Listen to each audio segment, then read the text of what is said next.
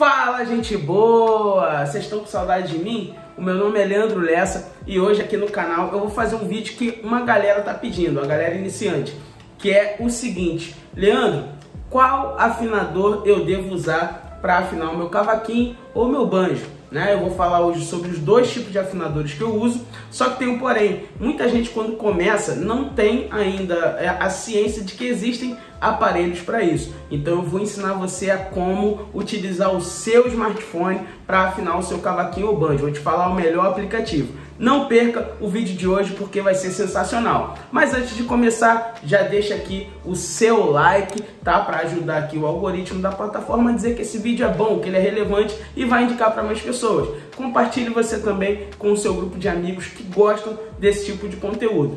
Não esquece, se for a sua primeira vez, de já se inscrever no canal e clicar no sininho das notificações para ficar por dentro de todos os conteúdos, todos os vídeos que eu coloco aqui no canal logo em primeira mão, tá? Não esquece também de ir lá no meu Instagram e me seguir, Leandro Lessa Oficial. Você pode deixar aqui um comentário falando se esse vídeo foi bom, o que, que você quer ver aqui no canal, ou se você também quer falar isso lá no Instagram, fica tranquilo e faça isso, beleza? Agora chama essa vinheta bonita, porque o vídeo de hoje vai ser sensacional. Gente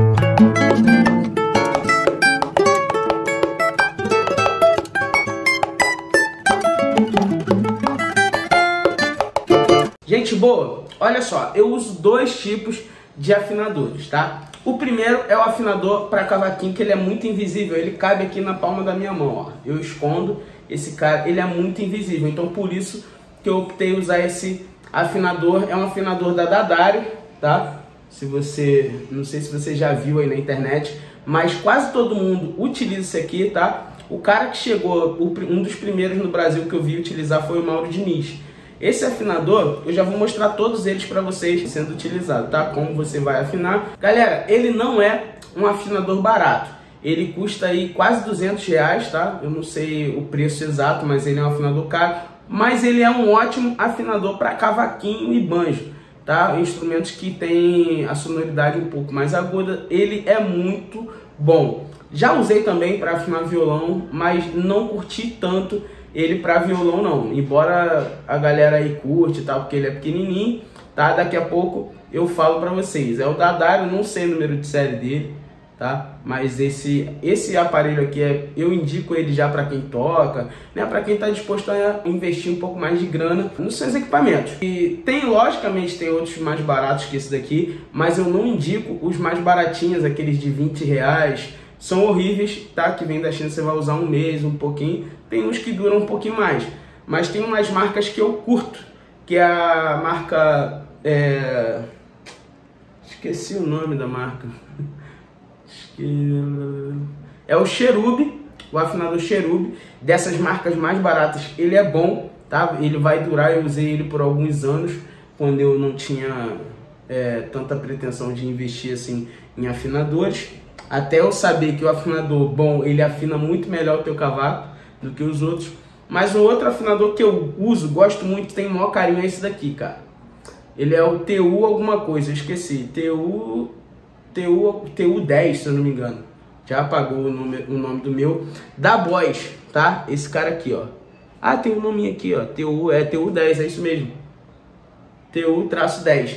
Chromatic Tanner, tá? Da Boss. Já vou afinar também o cavaquinho com ele. Só que eu utilizo, eu gosto desse cara aqui para afinar o banjo, por causa da afinação dele. O banjo é um pouco mais complicado de afinar, você que toca banjo deve saber disso. E pro violão, tá? Às vezes eu, eu tocava lá no, no Matheus, eu fazia violão e cavaco, então eu já deixava esse aqui no violão. Ele é muito bom para quem toca violão, tá? E alguns baixistas também utilizam esse afinador aqui. E esse afinador aqui eu acho que está 260 reais hoje, tá? Esse afinadorzinho aqui. Então agora eu vou mostrar para vocês como funcionam, funcionam os dois afinadores. Aí galera, olha aqui, ó. liguei o afinador, tá? É importante que você afine no 440 Hz, tá? Aqui, ó, vocês veem que tem um Ré. Quando o tracinho estiver atrás, significa que tem que apertar um pouco mais. Eu tô tocando a primeira Ré lá embaixo, ó. Quando ficar esses dois pontos, significa que está afinado, está na frequência correta. Aí eu sempre afino a Ré da ponta aguda e depois a Ré grave, ó, para equilibrar, ó. Esse aqui tá na frente, significa que eu tenho que afrouxar um pouquinho. Viu? Tem que ficar assim paradinho. Agora o Sol, ó, deu uma teteadinha assim, 10 centavinhos, ó, ficou legal. E agora o Si, ó, tá vendo? Tá um pouquinho abaixo também.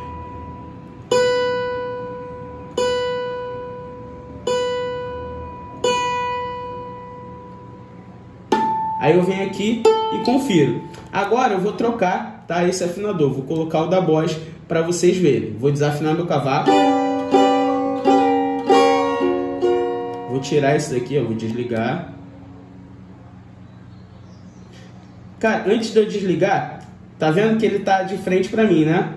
Porque esse afinador ele também pode ser usado assim. Olha só, que interessante. Aí se eu utilizo ele assim, tá de cabeça para baixo. Aí tem esse botão aqui no meio, ó, que faz ele girar. Tá vendo? Aí você pode usar também aqui na frente. Eu não gosto, tá? Eu prefiro usar ele para trás, que aí só eu vejo aqui é o meu display aqui do afinador, tá bom? Vamos colocar o da Boss agora. Deixa eu tirar ele aqui. Esse daqui vocês veem que é um pouco maior, né? Aqui, ó. Tem um botão aqui em cima, onde faz ligar esse da Bosch, tá bom? Ó, 440 Hz. Esse daqui já é um pouco mais analógico, né? Então esse daqui é um pouco mais sensível, olha só. Tá em dó sustenido, tô afinando a primeira ré, tá?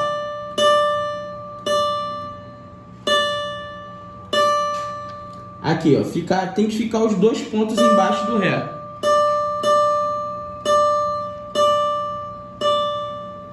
Aí, ó, tem que ficar assim tá? Os dois pontos aqui tem que bater, ó.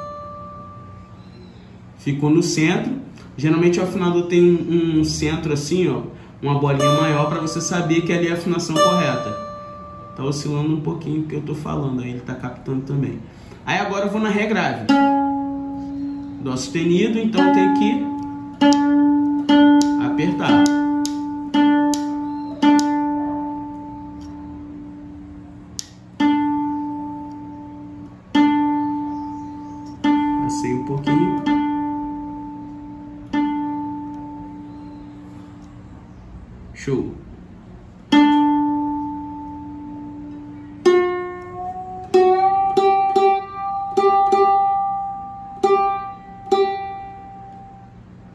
Show.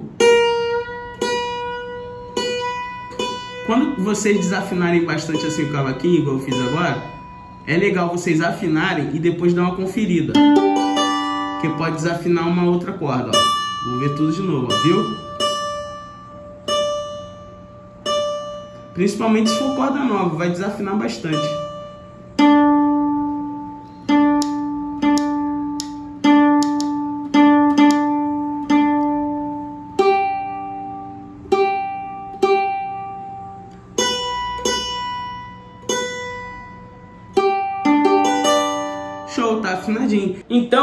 Agora vocês vão, vão ver passar aí na tela de vocês o afinador que eu utilizo né? Eu tenho ele instalado no meu celular, só que eu preferi colocar no iPad, então vou passar o vídeo para vocês aí, que é o afinador da Boss Tanner para aparelhos é, de smartphone, tá? Eu coloquei ele no iPad e vocês vão ver o vídeo aí. Ele também é bem sensível, então tenham um pouquinho de cuidado para vocês afinarem aí o cavaquinho.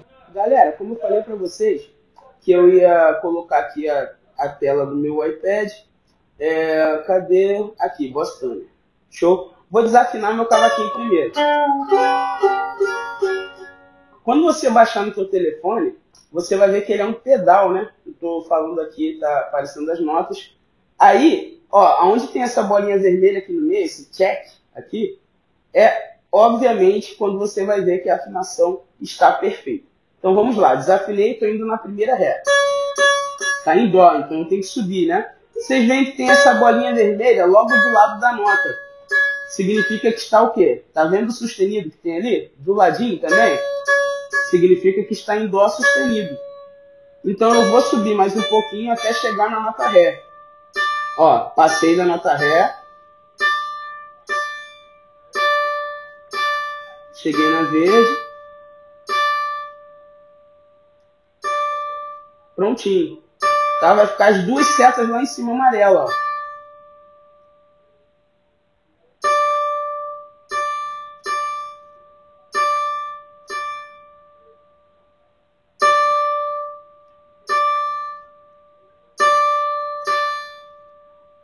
Show. Agora eu vou na Ré grave. Ó, tá vindo Dó sustenido de novo. Cheguei no Ré.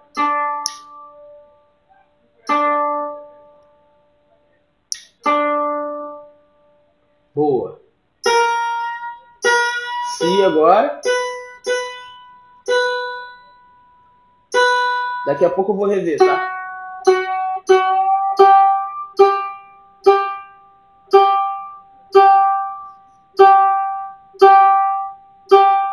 Sol. Beleza, agora eu vou, como eu desafinei bastante, eu vou rever agora, vou checar. Ó, desceu. Não tem problema você deixar um pouquinho acima também não, tá, gente?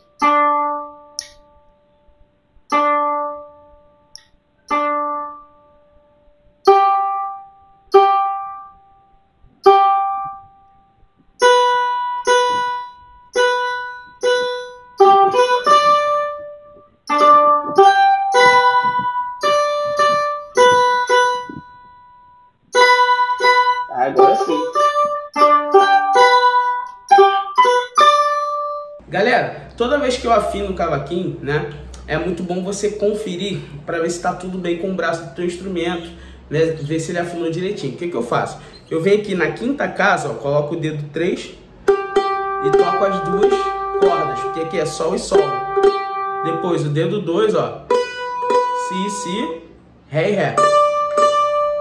Tá? Depois eu penso nessa forma aqui, ó na sétima casa, tá? Na segunda bolinha. Eu toco aqui as duas de cima, que é Ré e Ré. Beleza. Depois, ó, as duas do meio, Sol e Sol. Tá vendo? Deu uma oscilada. Beleza. E agora, Si e Si. Perfeito. Tá legal, o cavaquinho tá afinado, né?